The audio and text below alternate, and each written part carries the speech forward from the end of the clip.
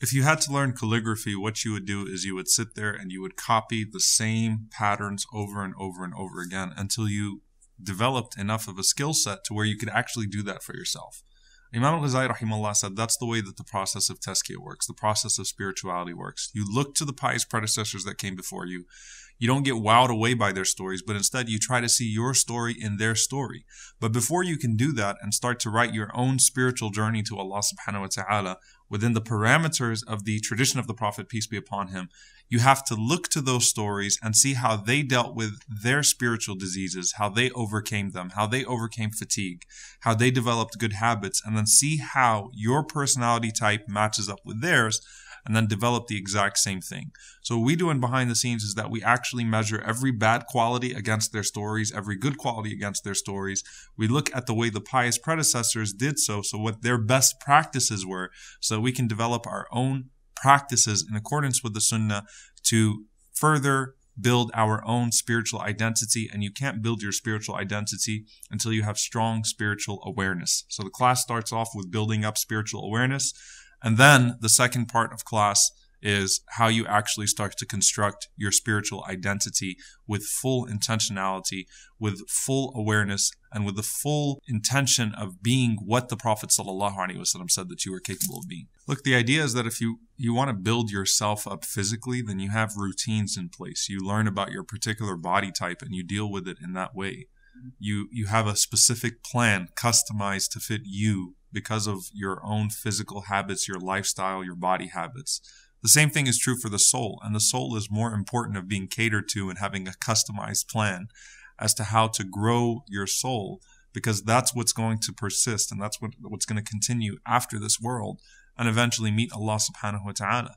So if you don't deal with your soul with the same level of intentionality and customization as you do your body, then just like with a sporadic diet and with a bad workout plan, you're never really going to get anywhere. You're just going to have temporary short victories, but you're never actually going to have healthy habits. So this is really about developing spiritually healthy habits so that your spirituality is not sporadic because you can't afford for it to be sporadic because death doesn't wait for you to be at your spiritual peak. Look, the whole concept of salvation in Islam is based on the idea that you try your best, but then you depend on the mercy of Allah subhanahu wa ta'ala. Can you really tell Allah that you've tried your best if you haven't learned best practices as to how to properly train your soul in a way that makes it pleasing to Allah subhanahu wa ta'ala? So that's the whole point of salvation in Islam, that we're doing our best to present ourselves to a Lord that we know is more merciful than our mothers are to us, and a Lord that will overlook our shortcomings so long as we were doing our best to overcome those shortcomings. The worst case scenario is that in your heedlessness, you develop satanic habits.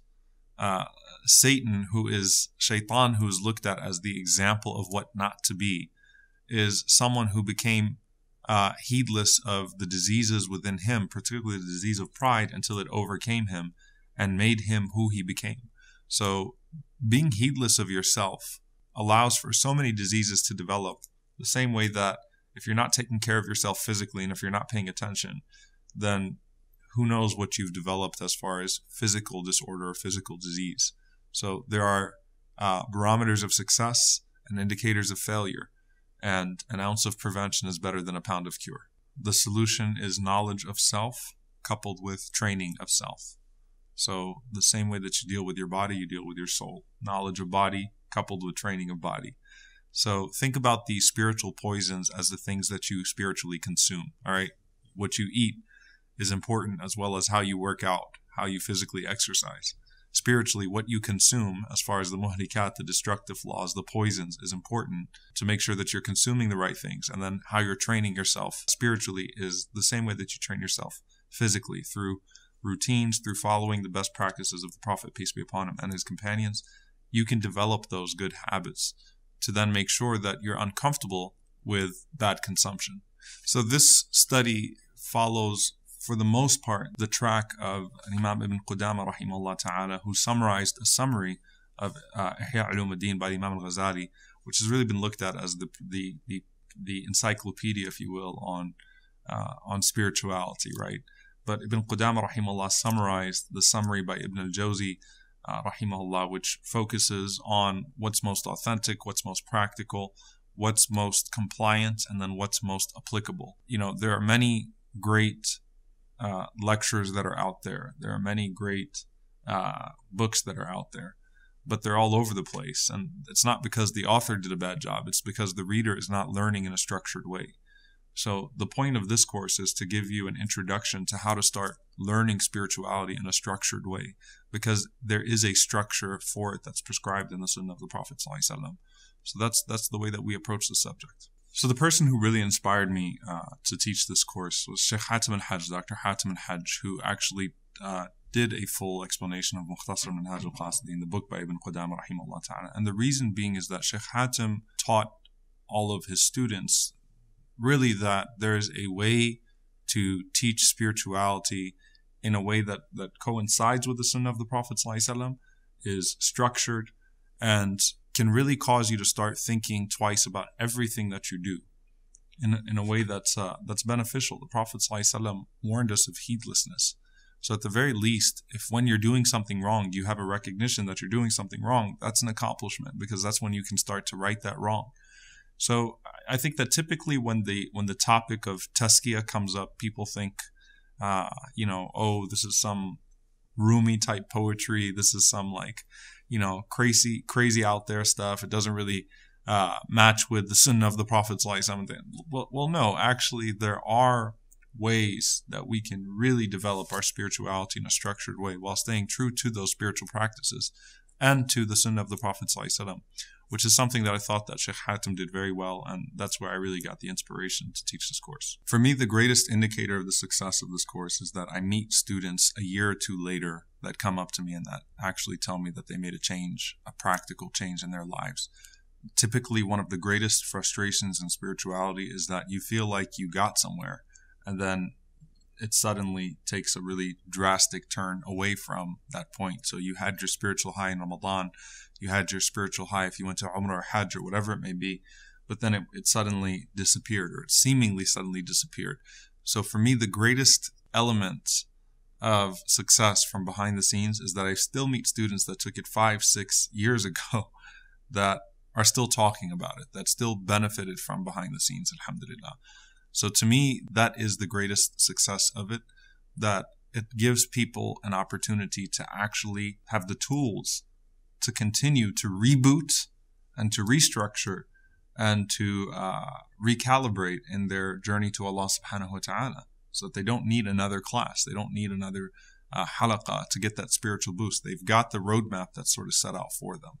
And that's when, when you can start actually um, diagnosing yourself on some of these things and then, um, you know, implementing some practical tips. That to me is what spirituality is meant to be what you get from behind the scenes is a complete overview of how spirituality works from the Sunnah of the Prophet ﷺ in a structured way. So, what we do with the course is we start off with illustrating basic concepts in Islam that you hear a lot of times that have very ambiguous meanings and giving them very defined meanings.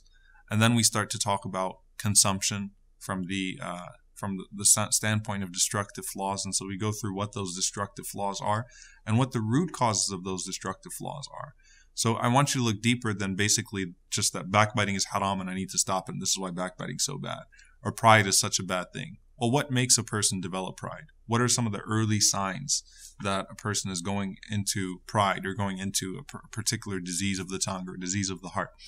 And then what are the practices to uproot the bad qualities, to break the habit of sin or a sinful quality, and then replace them with a new purpose, but not just a new purpose, but new practices, good practices, good habits, so that those things don't creep up on me once again. So behind the scenes takes you through that that logical progression from uh, basic concepts to spiritual awareness to consumption to good practice, best practices to to keep those things out, and then kind of gives you the tools on how you can readjust when you need to readjust uh, without everything, you know, suddenly collapsing and saying, well, this experiment didn't work. This spiritual high, just like every other spiritual high in my life, collapsed. A lot of times people postpone their, uh, they sort of put this mark that when this happens, then I'm going to be a better Muslim, that I'm going to connect to Allah subhanahu wa ta'ala. I'm going to change my life for the better. But there's the assumption that there's going to be a chance for me to come later on and to really change things. So your spiritual health is more important than your physical health. Your connection to Allah subhanahu wa ta'ala is more important than any other relationship that you have in life. Your success in the understanding of the way that the akhirah works, the hereafter works, is the most important form of success. It's important for people never to delay their tawbah, never to delay their repentance. And repentance is not simply, um, you know, saying astaghfirullah, seeking forgiveness from Allah subhanahu wa ta'ala. It's actually making changes uh, to where you're turning back to Allah subhanahu wa ta'ala. You're actually intentionally turning back to Allah subhanahu wa ta'ala with everything that you have and doing everything the way that He wants you to do it. So go ahead and sign up, and I hope that you're able to find exactly what you're looking for in this course, and I hope that you're able to really begin that journey to Allah subhanahu wa ta'ala and start to customize your own plan uh, of spirituality.